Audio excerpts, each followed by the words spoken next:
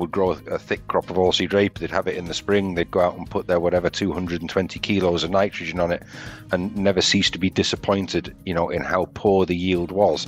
That they'd have this very thick crop. They'd have this, you know, huge reflection of light for a few weeks while it should be filling the pods, and then also you tend to get more lodging and that sort of thing, which makes that the crop harder to harvest. So it, it is easy to overcook it. You know, I would have heard years ago anecdotally in the UK that people could never believe. They were always surprised by how well they yielded, often as well as or better than their thick crops. And that was really because they were applying enough nitrogen to get their thin crops to the correct canopy size and overcooking the big ones.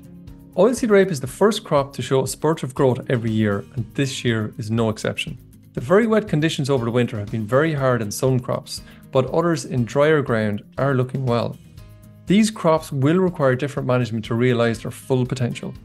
You are listening to the latest episode of The Tillage Edge with me, Michael Hennessy. We would really appreciate it if you could listen, follow, and give us a review on Apple or Spotify or wherever you get your podcast from. There are more management levers which can be used in oilseed rape in the early season than other crops. I'm delighted today to be joined by John Spink, the head of Crops, Environment and Land Use in Teagasc, who has extensive experience researching these growth habits and the tools which can be used to manage crop canopies. John, before we start talking about oilseed rape, we replayed your talk for the National Tillage Conference a couple of weeks ago, where you talked about carbon footprinting in Irish cereals. It's a very positive story, but there was a little bit more information on the topic last week. Did that confirm some of the data that you presented at the National Tillage Conference? The farmer data that we that we uh, analysed really confirmed what we'd found from the from the experimental work. Uh, and and what we'd suspected in the Irish grain has a has a very low uh, carbon footprint if you compare it to some of our international competitors. Okay, so hopefully we can exploit that as the, as the thing goes by. John, I wanted to talk to you though a little bit more really around uh, oilseed rape, and obviously in the past you've done a lot of work in oilseed rape research and across in in, in the UK and a bit here in Ireland as well. Um, and you've, you've done a lot, I, I suppose, in terms of um, you know, how crops develop uh, over time and um, looking at around the tools um, that might be used by by farmers or agronomists out there to try and uh, influence the crop at that stage. I suppose if we look at the crops out there this year, some of them have probably struggled a bit. Um, there was, I suppose, a lot of wet weather all the way from the harvest last year. There was heavy slug populations. There's probably, you know, there's wet patches in crops. There's thin patches in crops. And I suppose there probably are going to be different management um, things that people are going to have to put in place uh, to to manage those crops. But we might just maybe just focus a little bit in terms of a crop stand out there because there are some thinnish looking crops out there. How many plants per meter squared um, are, are needed to develop into a decent crop? And does it matter if those plants are relatively big at this time of the year or they've been grazed quite a lot by pigeons? Right. Okay. So I'll start off with the first part of that, Michael. How many plants do you do you need? We I, I would normally say if you have one plant per square foot or nine plants per square meter, uh, ten plants per square meter thereabouts, that's enough to produce a canopy that's big enough to reach the yield potential.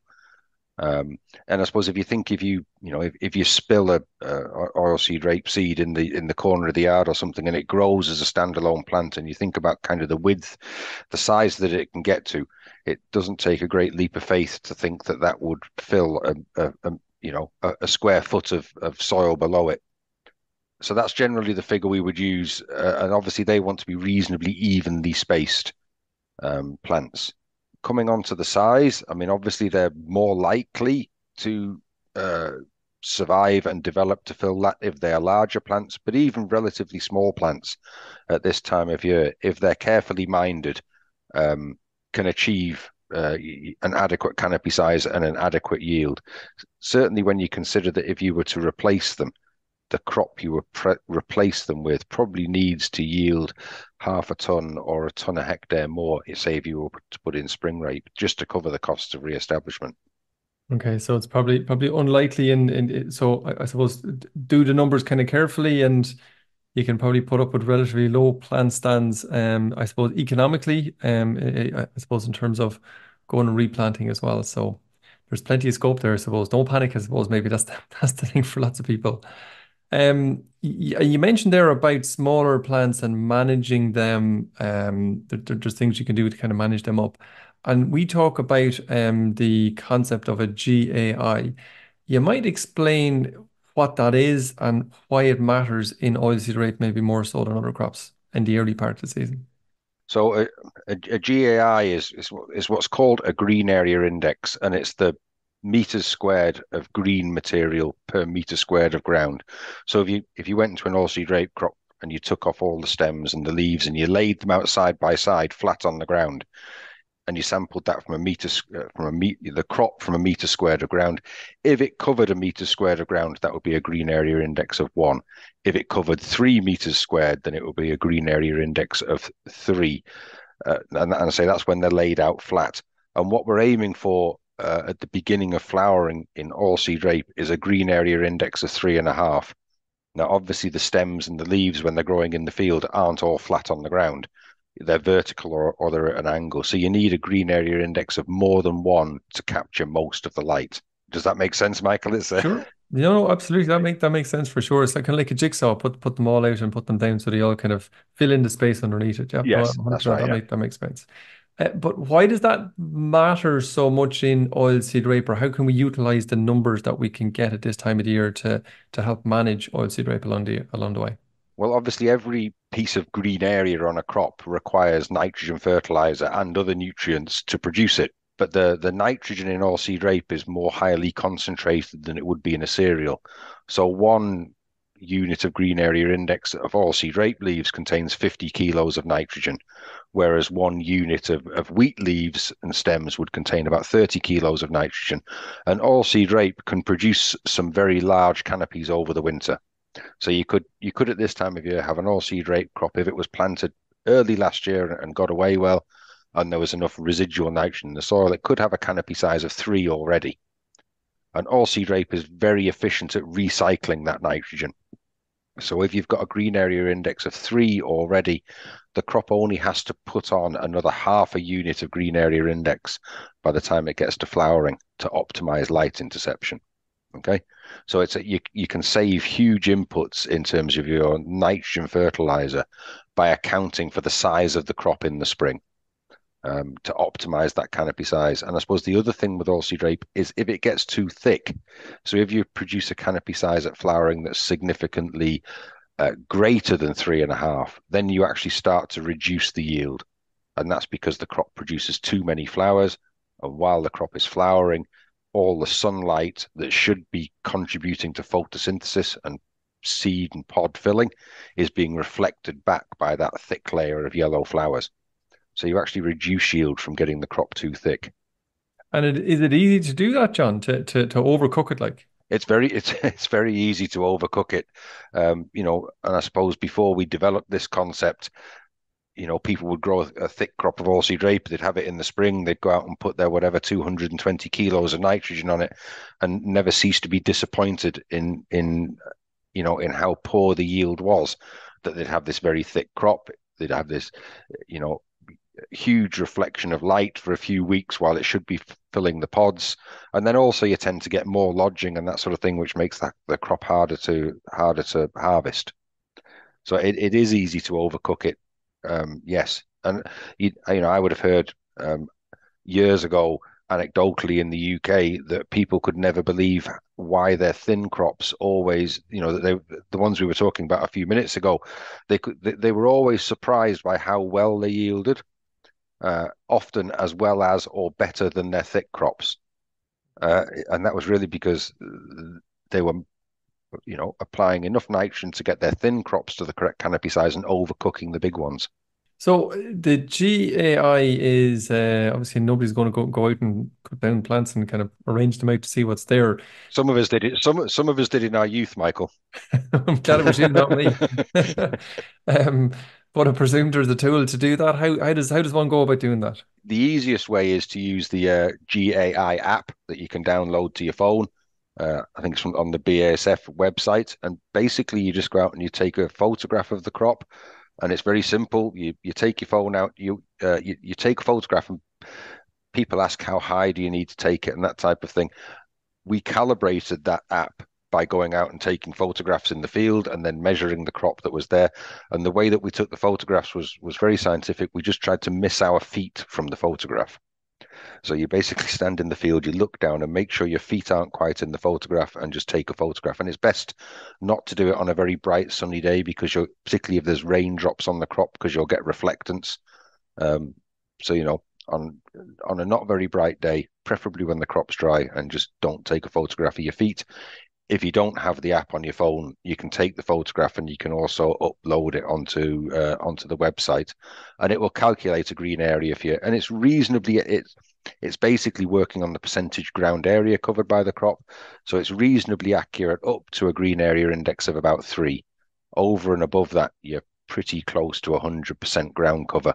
So obviously, it's much harder then to discern a crop that's three from five, you know, a crop that's three or a crop that's five. And so then, eh, so if somebody comes back, goes out there, and and uh, uh, we would hope that people are taking that around now, I presume, or, maybe is it even a little bit earlier? Now is fine. I mean, it's it's when you're trying to make that decision about your first nitrogen application. Yeah. Okay. So if somebody comes back with one a relatively low, what I suppose to a degree, what's a high and what's a low at this time of the year? Is is is 0.5 low and two high, or is it a different number? 0.5 would be a relatively thin crop, but you could get lower.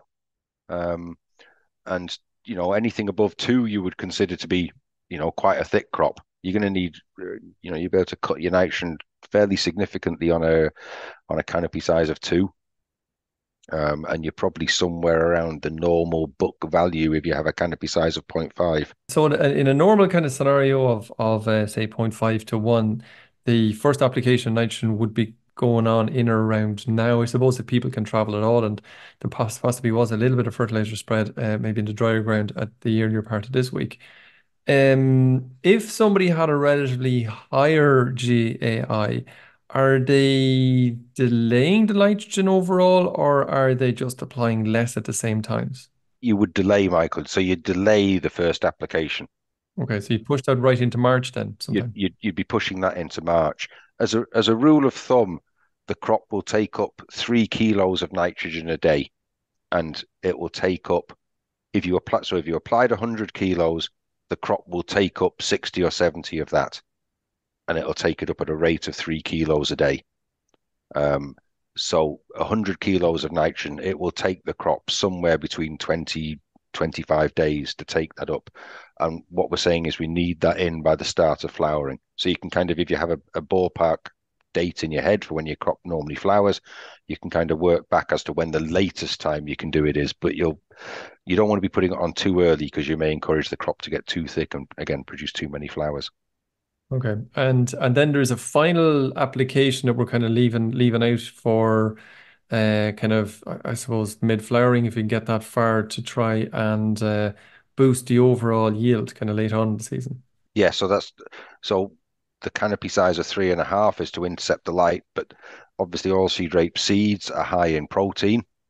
Um, and you so we are we want to get a late an application on as late as we can get it evenly spread to supply nitrogen for that protein formation. If you don't do that, then what the crop will do is it will remove the nitrogen from the leaves uh, to to form the protein in the grain, and the crop will will die prematurely, and that will reduce yield. But re- that late application is really as late as you can get the nitrogen evenly spread. So if you're on wider tram lines, it's going to be harder to to spread that late. So if you're on 24 meter tram lines, maybe if you have uh, high mounting for your disc, you'll be able to go a bit later, or you could put some of it on as liquid uh, through a boom, um, which obviously means you can probably go a bit later again. So there's plenty of options there. So I suppose the key information that you're saying there, if you have a relatively big GAI, well, first of all, measured, uh, and secondly, then if it is quite big, just delay uh, until for another couple of weeks probably. Um, whereas if you have the the, the slightly lower uh, GAI, probably when you can travel the ground, get on some maybe a couple of bags of ASN uh, as soon as you can to kind of get that crop um, pushing along. Yeah, uh, uh, but relative if it's if it's a very small crop, I would be inclined to put smaller dressings on. You know, okay. particularly the first one. You know, thirty kilos of nitrogen should give the crop a kick um, and get it going. Um, obviously there's still the risk of well, there's been the risk of wet weather for months now, but you know you don't want to be putting large amounts on early and be at risk of that moving down in the soil beyond the crop, beyond the roots of the crop. It'll be you know it'll be lost to the rivers. Yes. Okay. Um, people would be concerned, I suppose, about sulfur as well, John. Um, how much and when should they apply sulfur? Generally, the sulfur is um, taken up with the nitrogen. Okay, a total of about 30 kilos of S per hectare. But sulfur, it does leach, but it doesn't leach anywhere near as quickly as um, as nitrogen. So you could, what I would do for preference would be to use a high S compound for the first application, get the sulfur on, and then use straight nitrogen for the later applications. Boron, John, people talk. Yeah, there's a uh, there's a, there's a lot of talk about boron, um, and oilseed rape can suffer from boron deficiency. In my experience, it's relatively rare. It's more of an issue on light soils. Um, so you know, it would have been an issue on some soil, say growing beet years ago. Um, so the crop does require boron, but it requires relatively little of it, and there's quite a fine line between boron deficiency and boron toxicity in the crop. So I mean, I would I would rather apply boron based on a soil analysis or or a knowledge that uh, a site is prone to boron deficiency, and if so, a small application of boron, but you know, I have seen boron deficiency in oilseed rape. As I say, it's not hugely common, um, and, and and it's more likely on lighter soils than heavier soils. Final question, John, just around uh, disease. There's it's been a very wet winter. In the past, we've had problems with light leaf spot doing serious damage in crops. Where do you think that is at the moment? Um, and should people be be be doing something about it? To be honest, Michael, I haven't walked a huge number of crops. Uh, we haven't got any oilseed rape in Oak Park this year. We've we've done a lot of brassica uh, cover crop trials in the past, and unfortunately, that means we now have club root on the land. So we've taken the decision not to grow uh, oilseed rape in Oak Park. We've identified it in a number of fields. There may be fields that are clear, but you know, it will very quickly move around the farm on machinery and and that. So, but the in terms of light leaf spot, it can be very damaging you need to control light leaf spot before you have the buds uh, there. So really before green bud. So if people go out, uh, take some leaves, put them somewhere warm in a bag. If you can see the symptoms, you really need to get out and treat ASAP.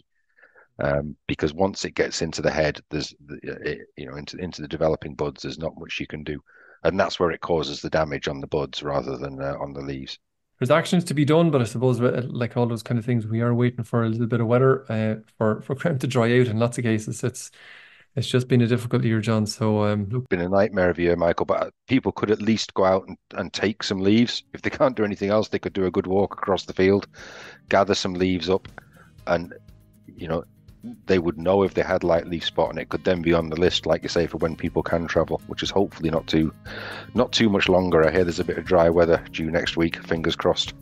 Fingers crossed indeed.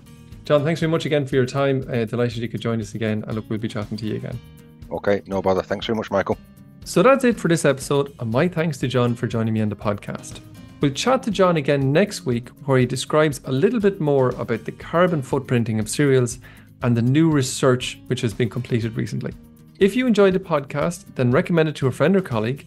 And as always, rate, review, and follow on Apple or Spotify so you never miss an episode. And for more information, go to teagasc.ie. I'm Michael Hennessy. Thanks for listening. I'll be back next week with more tillage news and advice.